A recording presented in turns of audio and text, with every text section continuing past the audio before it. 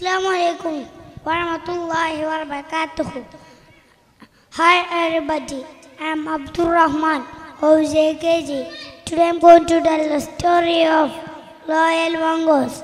Long time ago, there lived one farmer and his wife in the village. They had a little baby and pet mongoose. They were very good playmates. One day, farmer's wife left the baby in the cradle and went out to get a pot of water. She, she had a big snake got into the house. They had near to the baby. The, saw, the mongoose saw the snake. It jumped and killed it. After some time, the farmer's wife returned the house.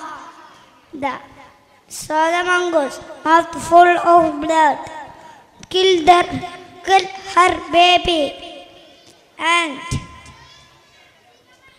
and in anger, the pot mongoose said,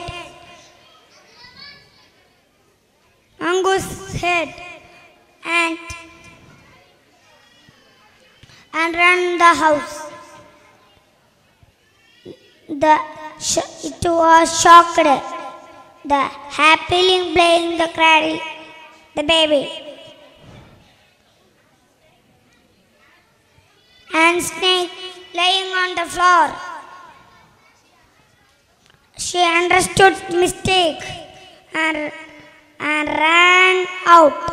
The mongoose was dead and sad and crying loudly. Moral of the story is you leap before you leap. Assalamu alaikum.